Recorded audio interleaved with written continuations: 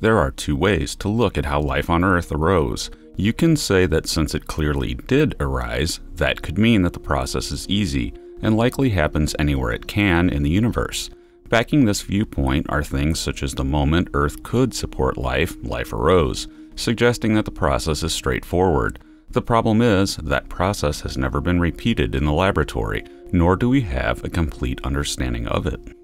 Experiments such as the Miller-Urey work show that the building blocks of life can be created under laboratory conditions, mimicking what scientists believe Earth's atmosphere was like when life arose.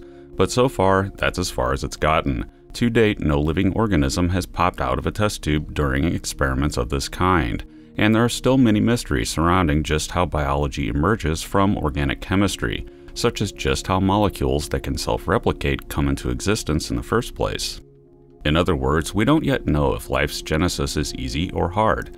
So the other way to look at how life arose on Earth is to say that it was only by pure chance, and highly improbable to have happened at all, and it's worth noting that as far as we know, life arose on this planet only once in its entire history.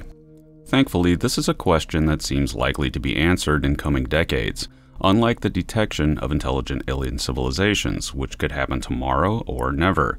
Between the biochemists trying to figure out just how life arises, to the numerous examples of liquid water bearing ice shell moons in the solar system, and of course, possibilities at both Venus and Mars, that could all hypothetically host life, we stand a good chance of getting a good handle on the prospects for simple life in the universe fairly soon. But that life did arise on Earth so rapidly is suggestive that the process is not too hard. But within all of this, there is a further problem and also a potential solution to the Fermi paradox. Once life did arise here, it seems to have hit a developmental brick wall of sorts and spent a full 1.8 billion years as simple prokaryotic single-celled life. That's a very long time to go from life's genesis on Earth to complex single celled life, the eukaryotes, which is also something that's happened only once on this world. That suggests that moving from the simplest form of life to a more complex single celled form is extremely difficult at best, and at worst might be highly unlikely to the point that it may have only happened here and nowhere else in the universe. Within discussion of the Fermi paradox, there is always talk about great filters, some brick wall that prevents life from advancing to become technological civilizations and heading off into space. If a failure of evolution to reach a level beyond simple single celled life is a great filter, then the universe might be teeming with the simplest microbes, but rarely anything else.